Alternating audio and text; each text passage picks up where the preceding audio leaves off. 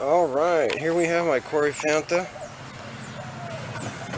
Finally got a beautiful little flower. And if you watch my videos regularly, you know I had put a video of this up a while back. And of course, this plant had that whole big story behind it of coming from West Texas outside of Fort Stockton. Looking miserable and shriveled up. And there it is. Finally. Yay! It flowered and it looks as though it's appear it appears to have excuse me. It appears to have about one, two, three, four, five, six, seven, eight, nine, ten, about about eleven or twelve um, possible flowers. So I was just really excited to see this. Look at that gorgeous thing. Isn't that nice? That is really nice. I'm excited. How beautiful. It's absolutely beautiful. Look at the geometric progression. It's just absolutely perfect, the way everything... All the spines are laid out. Now and we have this beautiful shape here. Look at that.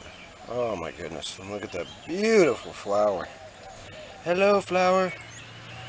Hello, flower. It is gorgeous.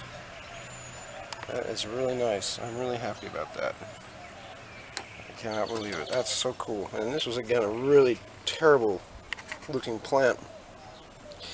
When I found it in August of 2014, it was miserable looking. It had none of the shape that it has now. Look at that. It is absolutely perfect. Again, whoops, again the flower. I don't want to hurt my plant. But there it is. Isn't that just perfect? Alright, I just thought I'd bring you guys up to date. That's a real beauty right there. That is a real beauty. Uh -huh. And that's it.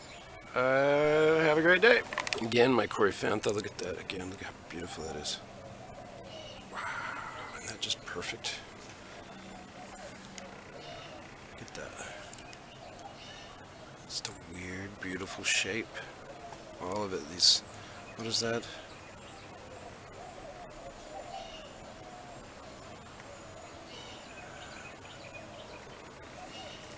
Flower of life or something, I forget. Isn't that gorgeous? Absolutely perfect. Just perfection. Absolutely gorgeous. Talk about every, what's that cliche?